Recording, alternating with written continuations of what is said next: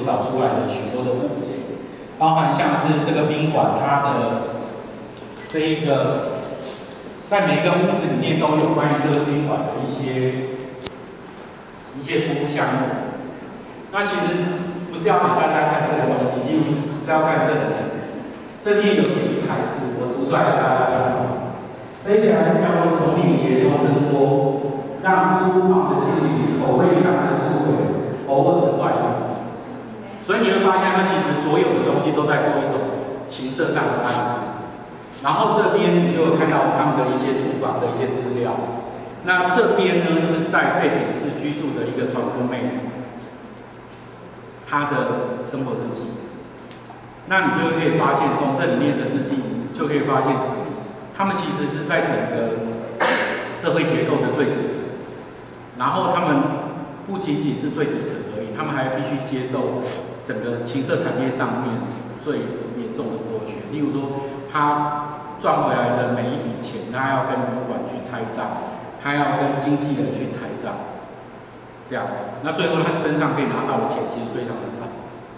那如果说他又遇到生理期，又这样生病，他没办法工作，那经纪人就不会派工作给你，那你很快的，你的经济生活上就会出问题。所以其实我们想要去呈现这样子的一个利好宾馆，它包含是营运，包含是里面的这个呃在里面所发生的这些人事物的这一些结构，其实它也是等于是我们当初一群艺术家在做这个中国景的时候，我们在做的一个思考。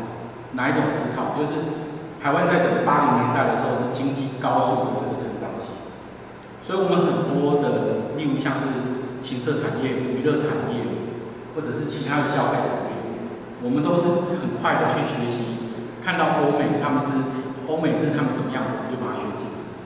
可是这种现代性经验，它不是一个从台湾人自己的生活里面去长出来。那这个东西它就很像是什么？很像是在那个年代工作的这一些女工，或者是男性的劳工，他们在下班之后，他们需要大量的什么？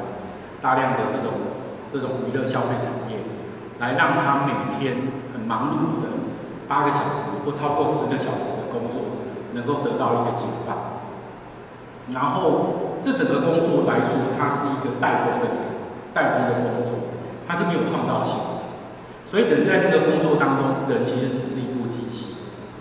可是你看到台湾，其实从高速经济成长的八零年代一直到现在，其实我们园区里面大部分的工作还是在做代工。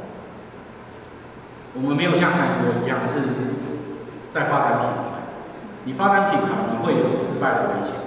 可是代工这件事情，你可能生产出来的这个白牌的机器贴了牌，给欧美的这些大厂。它就是三倍的价钱，所以其实这件事情有一个背后很严肃的一个思考，就是台湾什么时候可以摆脱代工这件事情？